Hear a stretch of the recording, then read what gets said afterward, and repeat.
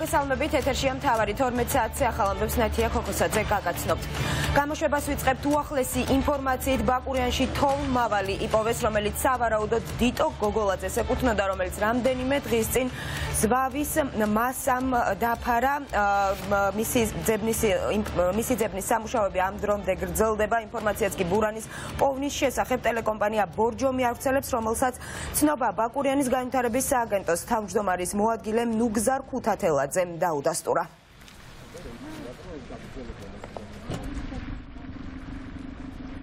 იძებნება სამართალი ამ შინაარსის სტენსილები გამოჩნდა დღეს დილიდან ქალაქის ქუჩებში.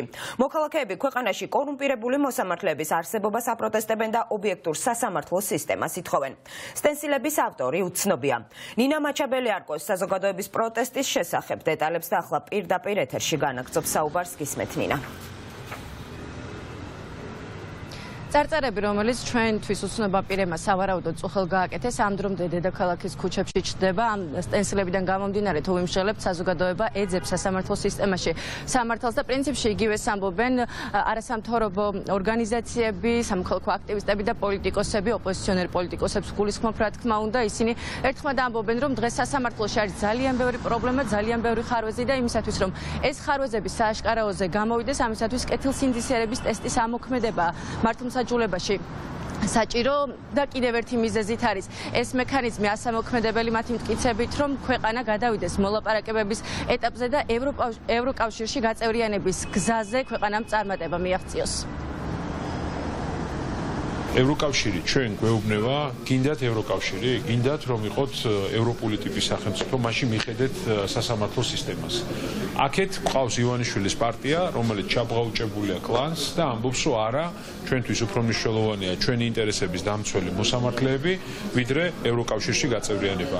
ამიტომ აბსოლუტურად სამართლიანია იუესალმები ნებისმიერ მსგავს ასე ვთქვათ პროტესტ ჩვენ გვახსოვს მათ შორის ევროკავშირის საგარეო და უსაფრთხოების კომიტეტის პრესპიკერის არის განცხადება, რომ მოსამართლეთა კეთილსინდისიერების შემოწმების მექანიზმის დანერგვა არის წინაპირობა მოლაპარაკებების ეტაპზე გადასვლისთვის და მათ შორის ნახეთ რამდენიმე დღის წინ ევროკავშირის ელჩის იდენტური განცხადება იმასთან დაკავშირებით, რომ ეს არის აუცილებელი მექანიზმი იმისთვის, რომ საქართველოს წინ წაიწიოს ევროკავშირის გზაზე. ამიტომ თუ რეალურად ჩვენ გსურს ევროკავშირის სრულფასოვანი წევრობა, ჩვენ აუცილებლად მოვიტანოთ სრულებები, იმენაირად ხედავთ, რომ ქართული ოცნება უბრალოდ უარს ამბობს სხვა დათქმების შესრულებაზე, განსაკუთრებით კი მოსამართლეთა კეთილსინდისიერების მექანიზმის დანერგვაზე კეთილსინდისიერების შემოწმება ვერ იქნება სასამართლოს გასუფთავების ერთადერთი გზა და ერთადერთი საშუალება, რადგან თუ დაუტოვებთ ხელისუფლებას ისევე ვერ კეთს რომელიც გულისხმობს მოსამართლეების დანიშვნას, მათთვის დისციპლინური საჯელების განსაზღვრას და ასე შემდეგ, რა თქმა უნდა, არაკეთილსინდისიერ მოსამართლეებს გაუშვებენ და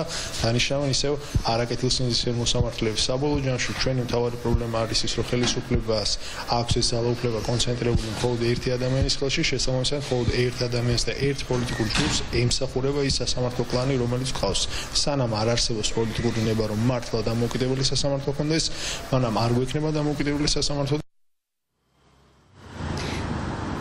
ქართული ოცნება კი აგზელებს ქვეყნის სტრატეგიულ მოკავშირეებზე თავდასხმას და ამტკიცებს, რომ ქვეყნის მოკავშირეები უხეშად ერევიან ქართულ მართლმსაჯულებაში და ამაში მათ ქვეყნის შიგნით ეხმარება მესამე სექტორი. ერთის მხრივ აღსანიშნავია ის, რომ ქართული ოცნება ამბობს, რომ მოსამართლეებს დასამალი არაფერი აქვთ, თუმცა ამის პარალელურად ისინი ეწინააღმდეგებიან იმას, რომ მოსამართლეებმა კეთილსინდისიერების ტესტი გაიარონ და ჩააბარონ. ამ თემასთან დაკავშირებით პირველი კომენტარი გააკეთა ქვეყნის პრემიერ-მინისტრმა და ახლა შეგვიძლია ჩვენ მას პირდაპირ ეთერში მოусმინოთ. არ ვარგა, როდესაც გარკვეული ტიპის პრივილეგიები გამოიყენება სასამართლოს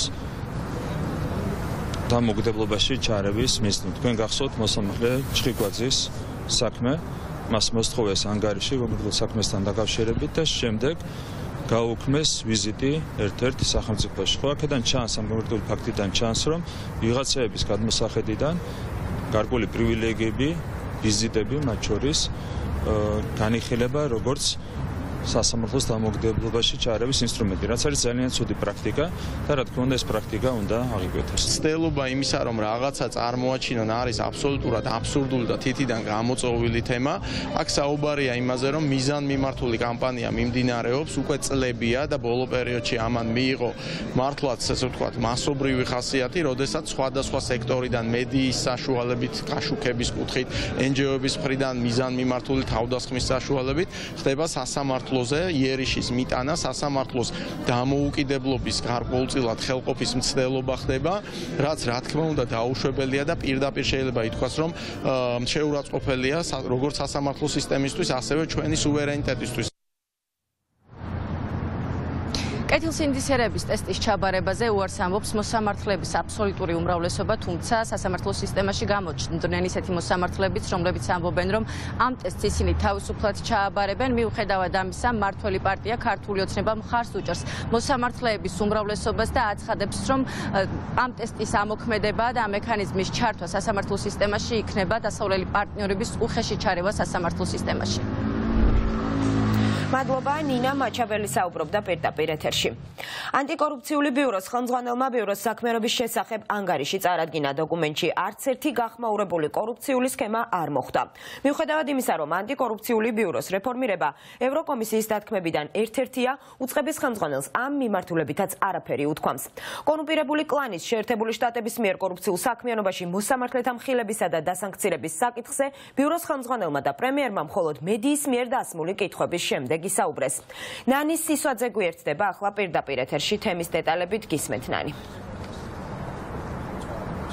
ნათია სულ რამდენიმე წუთის წინ დასრულდა ანტიკორუფციული ბიუროს ხელმძღვანელის მხრიდან. ანგარიშის წარდგენა, თუმცა მიუხედავად იმისა, რომ საკმაოდ მოცულობითი იყო ეს ანგარიში და დაახლოებით 9 საათის განმავლობაში იკითხებოდა, არაფერი იყო ნათქვამი იმ გახმაურებულ საქმეებზე, რომელსაც მათ შორის ჩვენ მედია არაერთხელ მედიას არაერთხელ გაგუშუქებია და მოხვედრილა არაერთი არასამთავრობო ორგანიზაციის დასკვნაში. საუბარი არის როგორც მაღალი დონის კორუფციაზე, ასევე ცალკეულ შემთხვევებზე, როდესაც საუბრობენ ექსპერტები და მათ შორის დასავლელი პარტნიორები, რომ საქართველოში არის მაღალი დონის კორუფცია, რაც არის პრობლემური და ჩვენ ხელს გვიშლის ევროინტეგრაციის გზაზე, თუმცა მიუხედავად ამ ყველაფრისა, ჩვენ მქონდა შემდგომ შესაძლებლობა, რომ როგორც ანტიკორუფციული ბიუროს ხელმძღვანელისთვის, ასევე პრემიერ-მინისტრისთვის გვეკითხა ამ თემებთან დაკავშირებით და ფაქტია, რომ ქართული ოცნება ამჯერადაც არ აღიარებს, რომ საქართველოში ერთ-ერთი მთავარი გამოწვევა არის კორუფცია და მათ შორის მაღალი დონის კორუფცია, რომ რომელზეც საუბრობენ მათ შორის არასამთავრობო სექტორის წარმომადგენლები და ამის არაერთი მაგალითი არის დასახელებული. მათ შორის ჩვენ ვკითხეთ შეისწავლის თუ არა ანტიკორუფციული ბიურო ყოფილი პრემიერ-მინისტრის საქმიანობას და ზოგადად კონკრეტულად იმ გახმაურებულ საქმეს რომელიც ჩარტერულ რეისს უკავშირდებოდა. ჩვენ ანტიკორუფციული ხელმძღვანელმა გვითხრა რომ ყოფილი პრემიერ-მინისტრის დეკლარაცია არის განსახილველთა სიაში თუმცა ამ ხრივ ჯერჯერობით მუშაობა არ არის დაწყებული რაც შეეხება ეხება პრემიერ-მინისტრის განცხადებას, მან თქვა, რომ კორუფცია შესაძლებელია იყოს ჩვენი ქვეყნისთვის გამოწვევა, თუმცა ქვეყანა ლიდერობს ამ კუთხით და ის პრობლემები, რომელიც წინა წლებში კორუფციის თვალსაზრისით არსებობდა საქართველოში, ახლა აღარ არის გამოწვევა. ასევე ირაკლი კოპახიძემ თქვა, რომ ვერც ერთ მაგალითს სასამართლო სისტემასთან დაკავშირებით, რომ არსებობს იქ კლანი, ვერავინ დაასახელებს, მათ შორის არგუმენტები არ აქვს, როგორც მან განაცხადა დასავლელ პარტნიორებს, ამიტომაც ის გამორიცხავს, რომ ჩვენს ქვეყანაში სასამართლო სისტემაში იყოს კლანი და სწორედ მართლმსაჯულება ასეთი ერთპიროვნული გადაწყვეტილებებით იმართებოდეს. ასევე ჩვენ შევეკითხეთ ყოფილი ჯანდაცვის მინისტრის თანამდებობიდან თანამდებობაზე არ ყოფნის შესახებ თუ როდესაც დაწერა მან რომ ონკოლოგიური ონკოლოგიაში გავრცელებული კორუფციული ნიშნის გამო მან დატოვა ერთ-ერთი ეს ერთ-ერთი იყო მიზეზი რატომაც დატოვა მან პოსტი უარყო ირაკლი კობახიძემ რომ აქ კორუფციის ნიშნებს ჰქონდა რაიმე ადგილი, თუმცა ის პრობლემები, რომელიც ჯანდაცვის სისტემაში არსებობს, თუნდაც ონკოლოგიური მიმართულებით, ირაკლი კობახიძემ თქვა, რომ აუცილებლად ამ საკითხებთან დაკავშირებით იქნება შესაბამისი რეაგირება. რომ შევაჯამოთ, ფაქტი არის ერთი, რომ მიუხედავად არაერთი საერთაშორისო გაფრთხილებებისა, დასავლელი პარტნიორების მოწოდებისა და არასამთავრობო სექტორის გამოძიებებისა და მათ შორის ჟურნალისტური გამოძიებებისა, ქართული ოცნება არ აღიარებს ეხმარებს იმას, რომ ჩვენს ქვეყანაში არის გამეფებული კორუფცია და მათ შორის მაღალი დონის ელიტური კორუფცია. როდესაც საუბარია სასამართლო სისტემაზე, ყველამ კეთილი უნდა ინებოს და უნდა ისაუბროს ფაქტებით. დღემდე ჩვენ ვერ ვისმენთ ფაქტებს და ამიტომ უწევთ საბჭოური სტილის კამპანიების წარმოება სასამართლოს წინააღმდეგ. ყოველგვარი ფაქტების, ყოველგვარი არგუმენტების გარეშე. ეს არის სწორედ საბჭოთა სტილი. და სამწუხაროა, რომ ესეთი საბჭოური სტილის კამპანიები წარმოებს იმ ადამიანების მხრიდან, რომლებმაც 2012 წლამდე სასამართლო აქციას ადამიანების შაგვრის ერთ-ერთ ინსტრუმენტად. რა თქმა უნდა, ამას არ უნდა შეეგოს საზოგადოება და ჩვენ ყოველთვის ხმას ავიმაღლებთ ამ უცხოური გავლენის აგენტების წინააღმდეგ. რაც შეეხება ყოფილ ჯანდაცვის მინის, მის მიერ თანამდებობის დატოვებას არავითარი კავშირი არ ქონდა კორუფციასთან, ეს ერთი. რაც შეეხება კორუფციასთან ბრძოლას, კიდევ ერთხელ გამიმეორებ, ეს არის ჩვენი ერთ-ერთი უმთავრესი ამოცანა. გვაქვს კარგი მონაცემები, ხო, კიდევ ერთხელ ხას გავუსვა, ყველა საერთაშორისო რეიტინგის მიხედვით გვაქვს კარგი მონაცემები კორუფციის სიმცირის თვალსაზრისით და უსწრებთ ყველა კაინდად ქვეყანას, ევროკავშირის ევროპის ყველა კაინდად ქვეყანას და ევროკავშირის წევრ ათამდე ქვეყანას. ყოფილი პრემიერ-მინისტრის ბატონი ირაკლი ღარიბაშვილის დეკლარაცია შემოწმდა 2022 წლის საანგარიშო პერიოდში ეს შემოწმდა დამოუკიდებელი კომისიის მოთხოვნის საფუძველზე. დეტალურად იქნა შესწავლილი წარმოქმნილი ინფორმაცია და დეკლარაცია შეფასდა დადებითად. რაც შეეხება, რაც შეეხება მიმდინარე წლის დეკლარაციას, რომელიც წარმოადგინა ეხლა ხან, ეს არის 2023 წლის საანგარიშო პერიოდი, ასევე დასახელებული არის შესამოწმებელ პირთა სიაში და მიმდინარე წელს აღნიშნული დეკლარაცია შემოწმება კანონის სრული დაცვით. დაინტერესება თუ არა ანტიკორუფციული ბიურო გახმაურებული კორუფციული საქმეებით ამასთან დაკავშირებით არავის ამის მოლოდინი არ აქვს ვინაიდან. ჩვენ ვიცით რომ თავად ანტიკორუფციული ბიუროს ხელმძღვანელის დანიშნა მათ შორის დასავლელი პარტნიორების მხრიდან არის უარყოფითად შეფასებული ვინაიდან ერთპიროვნულად მას ნიშნავს პრემიერ-მინისტრი და შესაბამისად მისი დამოუკიდებლობის ხარისხის შემთხვევაში არის არაერთი კითხვა. თუმცა მიუხედავად ამისა დღეს ჩვენ პირობა მივიღეთ როგორც პრემიერ-მინისტრისგან ასევე ანტიკორუფციული კონსული ბიუროს ხელმძღვანელისგან, რომ ყველა გახმაურებულ ფაქტებზე იქნება რეაგირება, თუმცა როდის და რა ფორმით ეს არც ერთ თანამდებობის პირს არ დაუდასტურებია. მადლობა ნანის სისვაძე საუბრობდა პირდაპირ ეთერში. როგორი მარჯვებს სახელმწიფო ტენდერებში ოცნებასთან დაახლოებული კომპანია. ირკვევა რომ შეპესე კვების უკონკურენტო გამარჯვებების სერია დავების საბჭოს განხილვის საგანიც გახდა. საკითხზე ჟურნალისტური გამოძიება რადიო თავისუფლებამ ჩაატარა და გამოიკვეთა რომ ბაგაბაღების სააგენტომ სწორედ ის დოკუმენტი დამალა, რომელიც სახელმწიფო გუნდთან დაკავშირებული კომპანიის გამარჯვებას საფრთხეს შეუქმნიდა. ნინი ბალანჩივაძე გვერდდება ახლა პირდაპირ ეთერში, რომელიც რადიო თავისუფლების ჟურნალისტურ გამოძიებას გაეცნო და უფრო მეტ დეტალს გვიამბობს საკითხთან დაკავშირებით. ნათია რადიო თავისუფლება აქვეყნებს ვრცელ ანგარიშ იმ სავარაუდო კორუფციასთან დაკავშირებით, რომელსაც ადგილი აქვს ბაღა ბაღებში ტენდერების გაფორმების ტენდერების გაფორმებისას და ამ შემთხვევაში საქმე ეხება შეპესე კვებას, რომელიც 2019 წელს დაფუძნდა და ამის შემდგომ ის წლების განმავლობაში არის უკონკურენტოდ გამარჯვებული სხვადასხვა ტენდერებში, მაგალითად 2024-დან 2020-დან 24 წლამდე მან ჯამში 60 მილიონი ლარის სახელმწიფო შეკვეთა მიიღო და ეს კომპანია აფორმებს ხელშეკრულებებს როგორც შინაგან საქმეთა სამინისტროსთან ასევე თბილისის მერიასთან და სხვადასხვა რაიონული გამგეობების ტენდერების უკონკურენტო გამარჯვებულიც არის. მიუხედავად იმისა, რომ დავების საბჭოს ოფიციალური გადაწყვეტილება არსებობდა იმასთან დაკავშირებით, რომ კონკრეტული კომპანია ვერ აკმაყოფილებდა მარცხენა სანაპიროზე მდებარე ბაგაბაღების მომარაგების კრიტერიუმებს, ბაგაბაღების სააგენტომ ამ კომპანიასთან გააფორმა ხელშეკრულება ორივე სანაპირო შემთხვევაში როგორც მარჯვენა სანაპიროზე მდებარე ბაგაბაღების, ისე მარცხენა სანაპიროზე მდებარე ბაგაბაღების შემთხვევაში და ამას წესით უნდა გამოეწვია ამ კომპანიის დისკვალიფიკაცია, თუმცა ამ შემთხვევაში სავარაუდოდ საქმე არის კორუფციასთან და გარიგებებთან, ქართულ ოცნებასთან, კორუფციის მკვლევარები, ოპოზიციის წარმომადგენლები ყურადღებას ამახვილებენ იმაზე, რომ ეს პირველი შემთხვევა არ არის, როცა ქართულ ოცნებასთან დაახლოებული კომპანიები იმარჯვებენ უკონკურენტოდ ტენდერებში, ესეც არის ერთ-ერთი კორუფციის მაგალითი და ისინი მოუწოდებენ შესაბამის უწყებებს, რომ ამ ფაქტით დაინტერესდნენ. სამწუხაროდ ეს არ არის მერიის ან მის დაქვემდებარებაში მყოფი სტრუქტურების მიერ გამოცხადებული პირველი ტენდერი, რომელიც ძალიან ბევრ ეჭვს ბადებს. ამ შემთხვევაში საქმე გვაქვს სავარაუდოდ იმასთან, რომ კონკრეტული კომპანიის მიმართ კეთილგანწყობა ჩანდა სააგენტოს მხრიდან. დავების საბჭო თავად მიიჩნევს, რომ კონკრეტულად ეს კომპანია და მისი კეთილსინდისიერება ძალიან ბევრ ეჭვს ბადებს თვითონ პროცედურულ ნაწილშიც და ამას გარდა და თავად დოკუმენტის მიჩქმალვა უკვე სააგენტოს მხრიდან უკვე ეჭვს ბადებს ხომ არ ქონდა აქ ადგილი დანაშაულსაც. ამიტომ ფიქრობ რომ ეს შესაძლოა გახდეს უფრო სერიოზული მოკვლევის საგანი და ამით შესაბამისი სტრუქტურებიც უნდა დაინტერესდნენ. კომპანიას რომელიც ორგანიზაციას არ მიაწვის ზუსტ ინფორმაციას ან დაუმალავს გარკვეულ ინფორმაციას ეს არის არაკეთილსინდისიერი ქმედება და კანონი ითვალისწინებს ამ კომპანიის უპირობო დისკვალიფიკაციას, ანუ ყოველგვარი ახსნა განმარტებების გარეშე, რომელიც უნდა გაეკეთებინა ბაღების სააგენტოს. მაგრამ გამომდინარე იქიდან, რომ ეს კომპანია არის ასე ვთქვათ შინაგან საქმეთა სამინისტროს მიმწოდებელი და საერთოდ ძალიან ბევრ სახელმწიფო ტენდერებში არის ჩართული.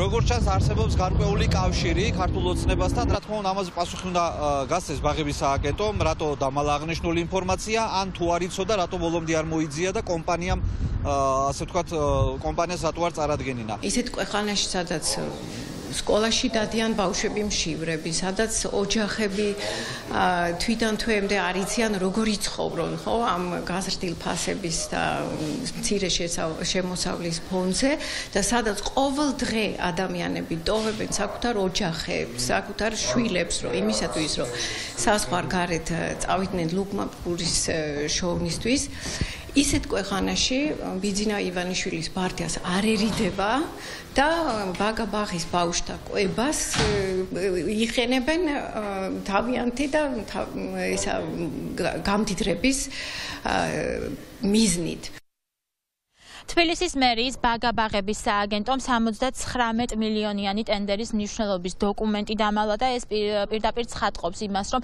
სააგენტო ბაგაბაღების სააგენტო ეხმარებოდა ამ კონკრეტულ კომპანიას გამარჯვებაში. აქედან გამომდინარე ჩდება ძალიან ბევრი კითხვა და ახლა კორუფციის მკვლევარები ნითხოვენ იმას, რომ შესაბამისი უწყებები დაინტერესდნენ ამ ფაქტით და ისინი მათ შორის ამ საქმეში სავარაუდო დანაშაულის ნიშნებსაც ხედავენ.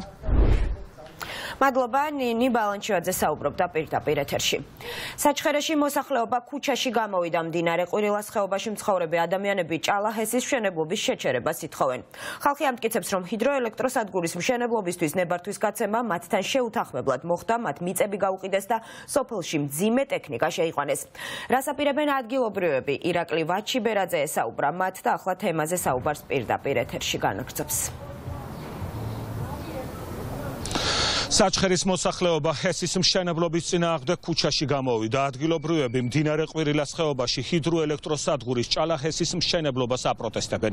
მოსახლეობის განმარტებით ხელისუფლება მიმდებარე ტერიტორია ისე გაასხვისა, რომ ადგილობრივების საქმის კურსში არ ჩააყენა. პროტესტის მონაწილეები ვარაუდობენ, რომ ადგილზე სამუშაოები სტანდარტების დარღვევით მიმდინარეობს. აქციის მონაწილეების განმარტებით ვიდრე ხელისუფლება მის მიერ გაცემულ ნებართვას უკან არ გაითხოვს, უწყვეტი პროტესტი გაგრძელდება. ორი წლის უკან აქ ჩამოვიდა გარემოს დაცვითი ზედამხედველობის დეპარტამენტის ინსპექტირების ჯგუფი, რომლებმაც ანუ სათანადო საბუთები ვერ ნახა და შესაბამისად გაჩერდა ეს მშენებლობა.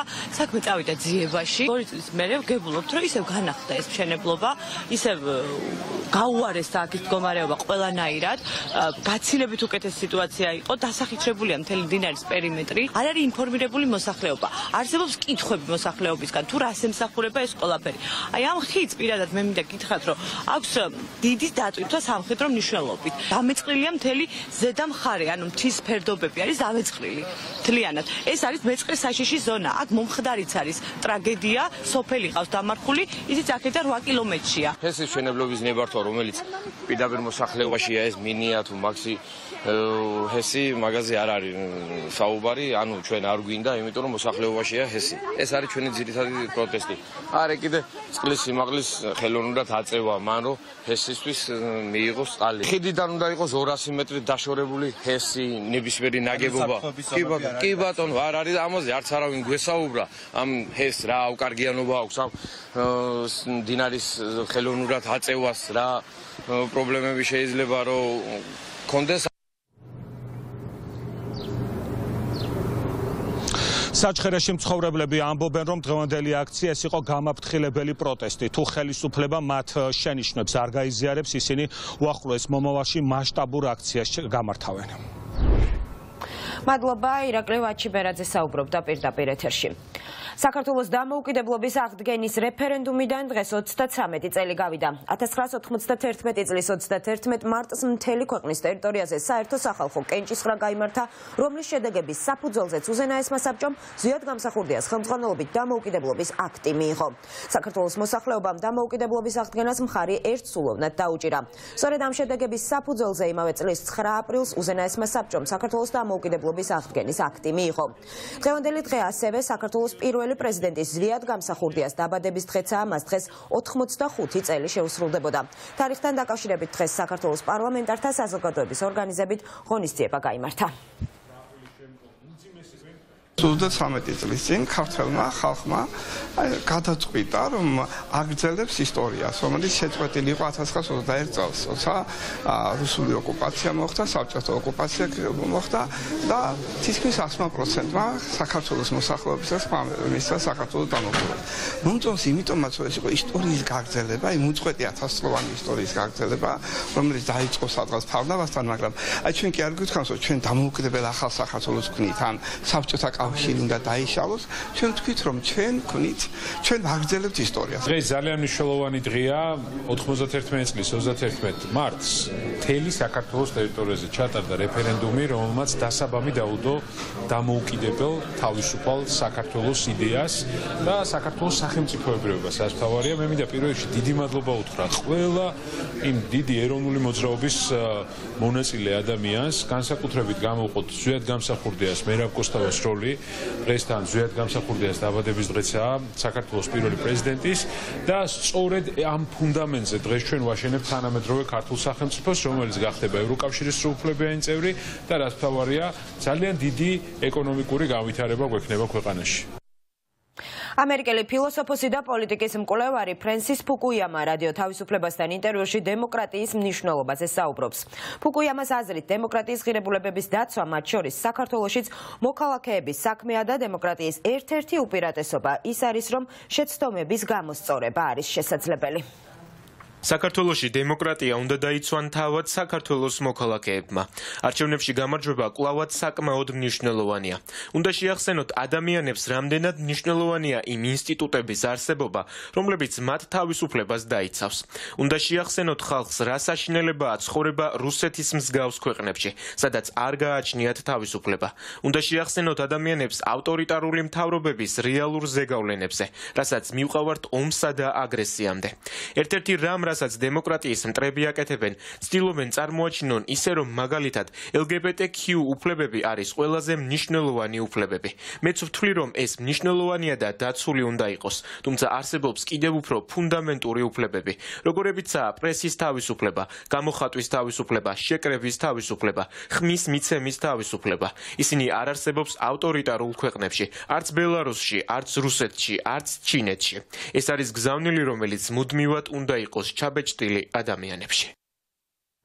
თბილისში საქართველოს ისრაელის ურთიერთობებისადმი მიძღვნილი ღონისძიება გამართა. შეხვედრაზე ქართველი მხატვრების მიერ ისრაელისადმი სოლიდარობის ნიშნად შექმნილი პანოს პრეზენტაციაც მოეწყო. ღონისძიებაზე საქართველოსა და ისრაელის წარმომადგენლებმა ქვეყნებს შორის მრავალწლიანი ურთიერთობების მნიშვნელობაზე ისაუბრეს. დაგეგმილია ასევე პანოს ისრაელში ჩატანა და სხვადასხვა მუზეუმში გამოფენა.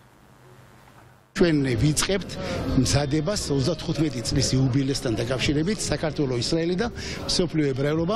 ეს არ არის მხოლოდ იუბილე. ჩვენ ვაპირებთ რომ ამ პოსტ კოვიდის პერიოდში და იმედია რომ ჩვენ ომის შემდეგაც ვიქნებით ვაპირებთ დიდი ბიზნეს ფორუმის გაკეთებას იმისათვის რომ ბიძგი მივცეთ საქართველოს ისრაელის შორის ურთიერთობებში ეკონომიკურ ურთიერთობებს და ჩვენ ვიცით რომ არის ძალიან დიდი პოტენციალი და ჩვენ გვჯერა რომ მომავალი წელი იქნება აღმავლობის წელი საქართველოს ისრაელის ურთიერთობებში. ჩვენს მხატვრები, გარკვეული ჯგუფი შეუერთდით ამ სოლიდარობას და გამოხატეთ ჩვენ აი ამ პანოს შექმნით. ეს პანო ასევე ეძღვნება ქართველთა და ებრაელთა 20 საუკუნოვან მეგობრობის ძალიან ლამაზ ისტორიას. ბევრი ჭირი და ხინი ერთად გვაქვს გადავლილი, ასე რომ, როდესაც მეგობრებს უჭირთ, აუცილებლად გვერდში უნდა დაუდგეთ. უკრაინაში აერაღებული ძალების სტარტკომის ცნობით ჰაკერული ჯგუფის წევრებმა რამდენიმე წუთში შეძლეს და რუსეთს 12 მილიარდი დოლარის ზარალი მიაყენეს. უცხების ცნობით ჰაკერებმა 100 კრიტიკულად მნიშვნელოვან რუსულ ვებგვერდზე შეღწევას ცადეს ისინი ტერაბაიტის მოსულობის საიდუმლო ინფორმაციას დაეუფლნენ. სტარტკომი ამბობს, რომ რუსეთს სერვერებისა და ინფორმაციის აღდგენისთვის დიდი დრო და რესურსი დასჭირდება. Группировок прямо заявили каких-то конкретных точечных